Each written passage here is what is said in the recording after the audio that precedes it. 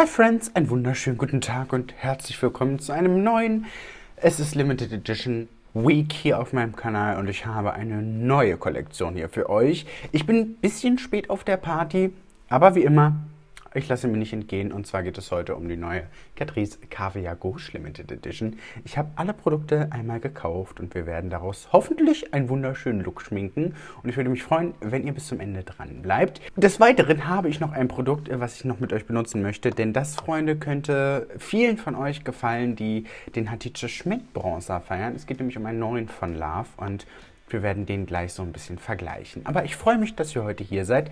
Falls es hier im Hintergrund Rauschen hört, nein, ich bin leider nicht am Meer. Ich bin leider nicht... Weiß ich nicht, wo rauscht es denn noch? An der Autobahn. Mein Computer hat sich gerade dazu entschieden, etwas zu verarbeiten und ich würde gerne wissen, was. Hoffentlich äh, kriege ich das mit der Musik äh, im Hintergrund so ein bisschen erledigt. Aber ich freue mich, dass ihr heute hier seid. Ich hoffe, es geht euch gut. Mir geht es richtig gut meine Augen ne, sehen aus wie gestern, weil das Video ist am selben Tag gedreht. Aber lasst euch davon nicht verunsichern, es geht weg. Und wenn nicht, es geht weg.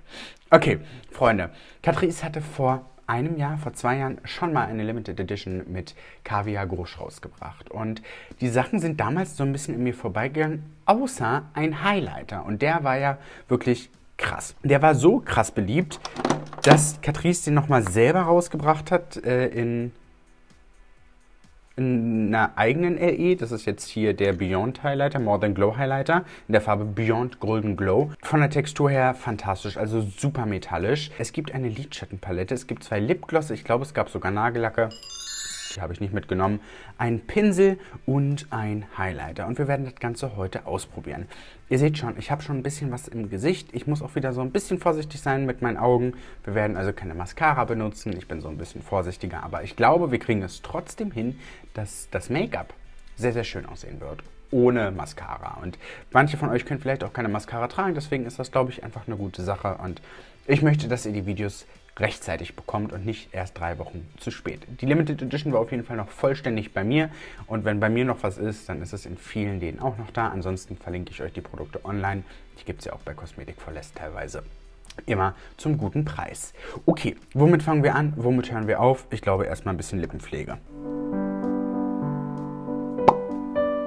Okay, ich sehe so ein bisschen blass aus, liegt aber daran, dass ich einfach noch kein Bronzer anhabe und mein Hintergrund die Farbe meines Halses hat.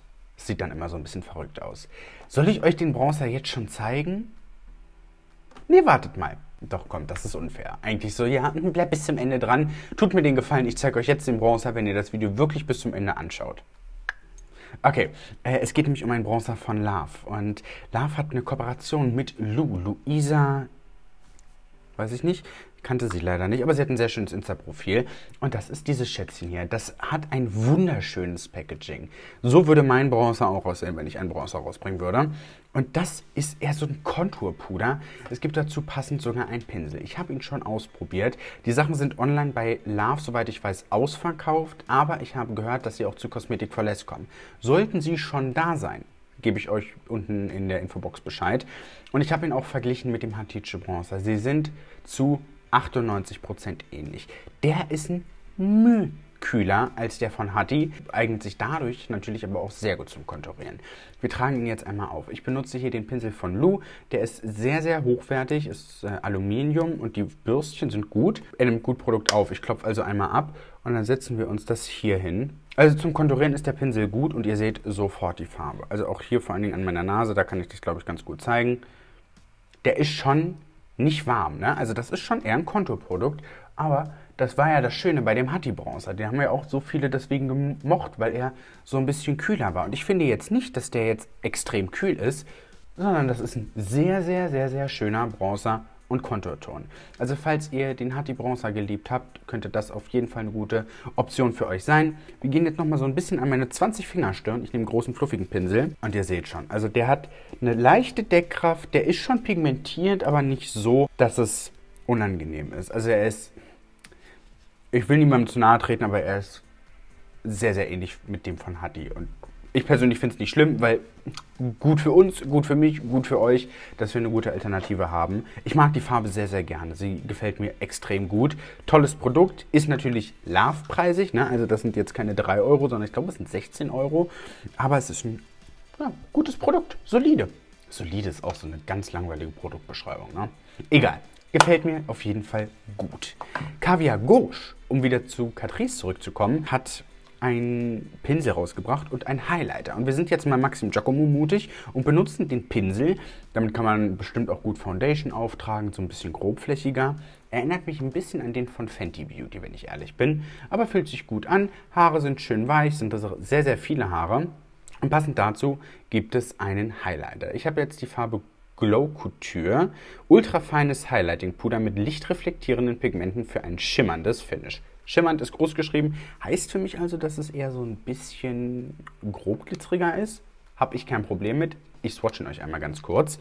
Das Pressing und das Design ist übrigens wieder wunderschön. Wir haben hier eine Goldverpackung und Goldglitzer. Das ist auch so ein bisschen dreidimensional. Und innen ist es Silber. Und der Highlighter an sich ist so ein bisschen Roségold. Das könnte gut als Blushlighter funktionieren. Ich gehe einfach mal rein. Mhm. Sieht aber doch recht kühl aus jetzt. Ja, hat so einen ganz leichten Rosé-Touch. Seht ihr das? Wenn ich es so halte, dann funktioniert es gut und so ist es natürlich sehr blendend. Ich trage damit jetzt vielleicht doch nicht Highlighter auf. Ich nehme einfach einen Highlighter-Pinsel von Letizia. Gehe hier rein. Er ist sehr weich auch wieder. Ne? Also das ist schon, man kann reindrücken und dann hat man wieder so einen leichten Fingerabdruck drin. Und das daste ich mir erstmal hier so ein bisschen über meine Wange und ihr seht sofort einen Effekt. Ne? Also für mich ist es gerade richtig. Es dürfte nicht heller sein. Ansonsten habe ich hier wie so einen, wie so einen Streifen. Aber ist schon ein sehr, sehr schöner Effekt. Und ich finde, er sieht jetzt auch gar nicht so künstlich aus. Ich weiß, viele Leute mögen es nicht, wenn der Highlighter so ein, so ein Balken ist, so eine Bubai-Landebahn, so wie ich sie gerne mag. So wie der Highlighter von vorgestern, das war der von der Rival Loop, Rival Loves Me. Limited Edition, fantastisch. Ich habe ihn oh, geliebt. Ich liebe ihn immer noch. Der ist eher so ein bisschen erwachsener. Man kann ihn großflächig aufbauen und hat dann ein sehr schönes Ergebnis. Doch, gefällt mir gut. Aber er ist nicht so intensiv wie der aus der ersten Limited Edition. Aber das wäre auch doof, wenn sie ihn einfach nochmal rausbringen. Freunde, seid ihr bereit für die Lidschattenpalette? Denn das, huh, denn das Schätzchen ist wunderschön. Also, das ist richtig hochwertig gemacht. Das hat designmäßig definitiv nichts mehr mit Drogerie zu tun. Ich finde aber generell, dass man das nicht mehr sagen kann. Und das muss ich mir selber erst so ein bisschen angewöhnen, dass die Drogerie von diesem Billig-Make-up schon lange weg ist. Das ist sehr, sehr schwer. Wir haben hier auch so ein dreidimensionales Edelsteinmuster und man spürt das auch. Also das ist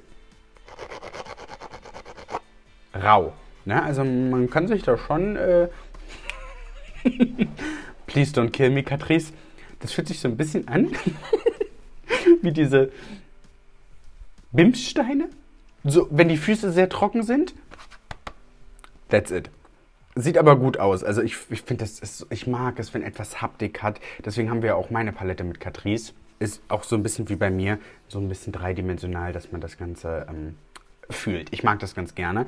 In der Lidschattenpalette sind neun Farben drin. Wir haben einen sehr großen Spiegel. Ich habe die Folie jetzt noch drauf gelassen, dass es nicht ganz so reflektiert, wenn ich es euch zeige.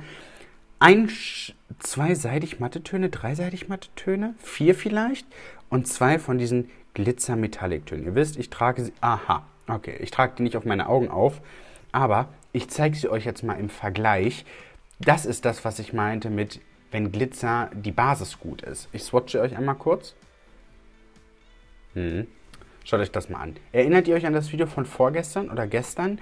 Die Lidschatten von Rival de Loop, Young, Rival Loves Me. Da waren ja auch so Glitzertöne mit drin. Und ich swatche euch jetzt mal im Vergleich den silbernen Ton hier. Also,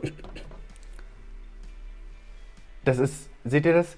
Hier ist Catrice und das hier ist der von Rival Loves Me. Das ist kein Vergleich. Die würde ich mir auch persönlich auf die Augen geben, weil ich weiß, das hält. Man kann damit schöne Effekte erzielen, für Silvester vielleicht. Ich persönlich finde, das sieht immer so ein bisschen, ich will niemandem zu nahe treten, ich finde, so, so dieses Extremglitzer ist immer entweder sehr artistisch oder sehr Ja, billig klingt immer so abwertend. Ich glaube, ihr wisst, was ich meine. Ich mag's, ich persönlich mag es nicht, wenn so extrem Glitzer mit drin ist. Aber qualitativ wesentlich besser als das von Rival de Loop Young. Oder mein Gott, Rival Loves Me heißt es mittlerweile. Okay, ich würde aber was Schönes schminken. Ich mag die Farben sehr gerne. Die sind sehr neutral, sehr. Hi, mein Name ist Kim Kardashian. Ich trage sehr, sehr viel Make-up, aber man soll es nicht sehen. Caviar Grouche ist aber auch eine Brand, die die steht jetzt nicht für Neonfarben. Ne? Also da hätte ich auch jetzt nichts anderes erwartet. Wir probieren es aber mal aus und ich hole euch dafür ein Stückchen näher ran. Ich glaube, so könnt ihr alles äh, ganz gut sehen. Es tut mir total leid mit meinen Augen, ne, Freunde, aber ich kann nichts dafür. Aber es geht bald weg, versprochen. Ich wurde übrigens jetzt auch ganz oft gefragt, ob das weh tut. Es tut nicht weh, ich spüre das nicht. Es ist einfach wie, wenn so ein Äderchen geplatzt ist. Okay, das ist die Palette. Wir schminken jetzt als erstes... Ah, ich muss mal kurz swatchen, weil diese Farben hier sehen so ein bisschen seidig... Oh, ist cremig. Die sehen jetzt so ein bisschen seidig aus. Tolle Farbe. Könnte ich mir... Uh. Ja, das sind schöne Blushtöne. Oh, stopp. Ich gehe jetzt mal in beide Farben hier mit rein. Die sind sehr pigmentiert. Ich klopfe ab. Uh, seht ihr das?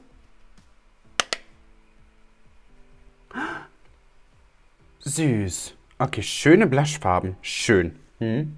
Ah, seht ihr, habt ihr noch einen Blush mit drin. Toll, als Stan.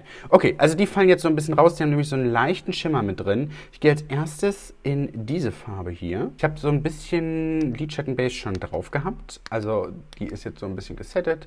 Ihr seht das. Und die setze ich mir direkt hier in meine Lidfalte. Das wird halt jetzt ein sehr, sehr neutraler Look. Ne? Also so ein Nude-Look. Mag ich ja persönlich ganz gerne. Aber sehr schön ausgeblendet möchte ich den haben. Hier so ein bisschen weiter raus. Von der Farbe eher so ein bisschen ins Rosane rein. Oh, schön. Sehr soft. Also das ist jetzt wirklich nur eine Transition Shade oder um eine Farbe auszublenden. Aber ich glaube, durch diese Glitzertöne kann man dann halt alles so ein bisschen rausreißen. Also die Farben sollen, glaube ich, auch eher so ein bisschen das Ganze nur umrahmen. Tun sie. Süß, ja, ist eine softe Farbe. Ich verdunkel das Ganze so ein bisschen mit dem Braun hier unten. Die haben fast gar kein Kickback. Ich swirl halt nur, damit ich wirklich viel Pigment drin habe. Und das setze ich mir auch noch hier mit hin und verdunkel das Ganze schon mal. Aber ihr seht schon, also es funktioniert. Das ist halt eine sehr natürliche Palette, aber halt diese Glitzer-Shades mit drin. Ne? Ich hätte vielleicht noch ein Schwarz da drin gerne gehabt. Oder ein ganz dunkles Braun. Aber gut, das ist nicht meine Palette. Aber sie lassen sich sehr gut verblenden. Ich finde die Textur ist auch nochmal eine andere. Also die ist sehr, sehr cremig. Die, die ist fast schon nass. Ich weiß nicht, ob ihr das erkennen könnt, aber wenn ich hier drin wische, ja, seht ihr das? Hier bei dem Ton hier, das sieht schon fast nass aus. Das ist so mein Look für, ich gehe zum Bäcker, ich gehe zum Arzt vielleicht, aber so, mm, aha, ich bin so natural today. Äh, nehmen wir die andere Farbe noch, geben wir uns die aufs bewegliche Lid, dieses Lila hier. Ist auch so super cremig. Aber schön. Ich habe es euch hier auch nochmal geswatcht. Die ist so ein bisschen, ja, die hat auch so einen leichten Schimmer mit drin. Hm, die setze ich mir jetzt nochmal vorsichtig. Nee, die will ich nicht. Ich will die nicht. Ich will das heute soft haben. Ich nehme jetzt meinen Finger, mache den einmal kurz auf meiner Hose sauber und gehe hier in diesen Schimmerton. Den kann ich nämlich aufs Auge tragen. Der ist sehr metallisch. Nee, wir nehmen, wir nehmen doch den lilanen Ton mit dem Finger. Und den setze ich mir hier oben einfach rauf für so ein bisschen Bewegung. Das ist halt so ein Haute Couture Look, ne? Also so sehr erwachsen, super soft und smoky, Eis, braun, aber so ein bisschen modernes Nude. An meinen unteren Wimperngrund gehe ich jetzt nochmal mit dem Braun hier. Jetzt könnte man natürlich noch einen krassen Eyeliner machen oder so. Gehe jetzt aber hier in den Schimmerton und setze mir den an meinen Inner Corner. Ich habe natürlich jetzt auch den langweiligsten Look gemacht, den man damit machen kann. I'm sorry. Aber ihr wisst, mit dem Glitzer im Auge ist es jetzt nicht ganz so cool. Und hier so ein bisschen unter die Braue. Sehr natürlich, sehr soft. Und ich glaube, wenn man jetzt noch Lashes hinmachen würde, wäre das Ganze krass. Ich trage mir mal kurz einen Liquid Lipstick auf.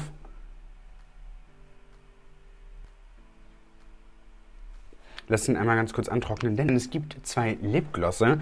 Einmal in der Farbe Rose Spectacle und in der Farbe Delicate Dream. Delicate Dream ist eher so ein durchsichtiger Ton, der hat aber so leichtes Glitzer. Die sind sehr, sehr klein und das Füßchen ist auch sehr klein. Ich trage mal, glaube ich, die Farbe hier auf. Also ich finde, der ist auch eher so, nur so ein Topper. Ich kann mir den fast besser vorstellen Seht ihr das? Ich swatche es gerade hier an meinem Fingerknochen. Das sind nämlich Volumizing Lip Booster, Freunde. Also nicht auf die Augen machen. Wir nehmen jetzt einfach diese Farbe hier und setzen die uns hier rüber. Es kommt halt sehr wenig. Ah.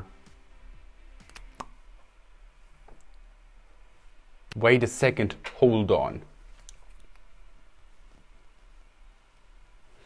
Das ist das Problem, ne? wenn die so klein sind, diese Stopper. Das ist die Menge, die ich an Lipgloss haben möchte.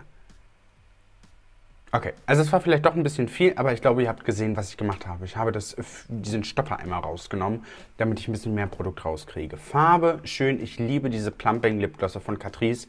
Die kühlen so ein bisschen die Lippen, lassen die optisch größer wirken. Und das sieht ganz süß aus. Hier sieht es aus wie Sabber. Schön, Freunde. Super erwachsen, super natürlich. Was sagt ihr? Wie findet ihr die Produkte? Habt ihr vielleicht die Produkte von letztem Mal oder von diesem Mal schon? Das würde mich interessieren, wenn ihr mir das einmal in die Kommentare schreibt. Lidschatten gut, sehr soft. Also das ist nichts für den klassischen Boom-Look, sondern das ist eher für die sehr, wie, wie heißt das Wort? Das fand ich immer so furchtbar. Sophisticated. Ist sehr sophisticated, die Palette. Was auch immer das heißt. Sehr schön, süß, mit einem schönen Lidschatten, vielleicht mit den Tönen. Was ich gut finde, ist, dass man die Lidschatten auch sehr, sehr gut als Blush benutzen kann. Ich mag die Farben gerne. Highlighter top. Der Bronzer, Freunde, große Empfehlung. Falls es den gibt, gönnt euch. Ihr werdet es nicht bereuen. Sehr ähnlich wie der von Hatice. Ich finde ihn gut.